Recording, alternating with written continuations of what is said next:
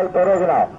ਤੇ तमाम ਸ਼ਿਕਾਰੀ ਸ਼ਾਹਸਵਾਰ ਸਾਰੇ ਐਲਾਨ ਸੁਣ ਲਓ ਸਾਡੀ ਕਮੇਟੀ ਦੀ ਤਰਫੋਂ ਐਲਾਨ ਨੋਟਿਸ ਆਇਆ ਉਹਦੀ ਇਹ ਐਲਾਨ ਹੈ ਕਿ ਅਗਰ ਕੋਈ ਮਤਨਾਜ਼ਾ ਰਾਉਂਡ ਹੁੰਦਾ ਕਿਸੇ ਨੂੰ ਸ਼ੱਕ ਆ ਤੇ 10 ਮਿੰਟ ਦਾ ਟਾਈਮ ਰਾਉਂਡ ਭੱਜ ਕੇ ਆ ਗਿਆ ਜਦੋਂ ਅਨਾਉਂਸ ਹੋ ਗਈ ਉਸ ਤੋਂ 10 ਮਿੰਟ ਟਾਈਮ ਜਿਹੜਾ ਨੋਟ ਕਰਨਾ ਮੈਂ ਅਨਾਉਂਸਰ ਅੱਗੇ ਅਖਬਾਰ ਕਰੇਗਾ 10 ਮਿੰਟ ਤੋਂ ਬਾਅਦ ਫਿਰ ਜਿਹੜਾ ਪ੍ਰੋਟੈਸਟ ਆ ਕਾਬਲੇ ਕਬੂਲ ਨਹੀਂ ਹੈਗਾ ਜੀ ਲੈਜਿਸਲੇਟਰ